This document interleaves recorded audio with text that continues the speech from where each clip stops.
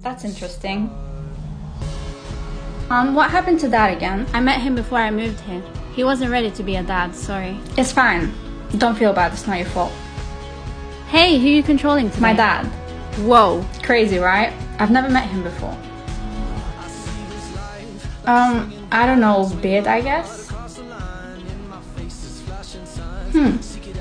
Let's go with yellow. Go home. I don't get it. You want to come to my house? My mom's making Yeah, dinner. sure, why not? Dad, you're back early. Did you shave your beard? You look different. Amara, meet my dad. He came back from a business Nice to meet you. Nice to meet you too. I'll be back. I need to change from this yellow top. It's been bothering me all day. Amara, meet my dad. He just came back from a business trip. Nice to meet you. Nice to meet you too. I'll be back. I'm gonna change from this yellow top. It's been bothering me all day. Dinner's ready. Ugh, finally. Let's go eat. The food is so good. Thank you. I hope you enjoy it.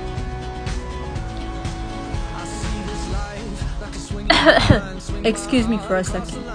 Hey, um, thanks again for the dinner, but I have to go. What? Why? Um, my mom just sent me a text. She says she needs me, so see you tomorrow. Hey, you're back early. I'm gonna ask you again, and I want you to tell me the truth this time. What happened to dad? I already told you he wasn't ready to be a father. And you want me to believe that? Well, guess what? I was just eating dinner with him. And oh, I found out I have a sister, which also happens to be my best friend. Wait, please. I'll explain everything. Wait, I can explain everything. Save it. Hey, What? Did you come here to apologize? Because if you did, you might as well leave. please, I wasn't lying to you.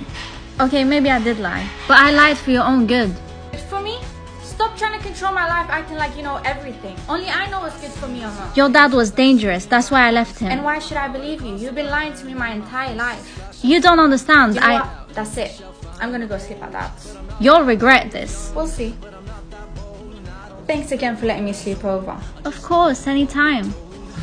I've never asked you how your parents met. They met at the hospital. My dad was a patient there for a while. Was he sick? No, but he had drinking problems. So he needed a new liver. I need to tell you something. It might sound crazy, but I need you to hear me out. I need to tell you something. It might sound crazy, but I need you to hear me out. I think we're sisters. Well, half sisters. We have the same dad. What? No, that's impossible. That's never been with anyone else. I know it might be hard for you to believe me, but I mean, you said it yourself. Your dad had drinking problems. He probably forgot he even had another child. Then why don't you just ask him? I don't know. Maybe he wanted to forget about me or doesn't want anything to do with me. Well, you have to ask him. That's the only way you'll know for sure. I don't know. I don't think that's the best idea. Yes, it is. Come. Dad, Amara wants to ask you something. Everything okay? I. I can't do this. What's wrong with you? Why didn't you ask him?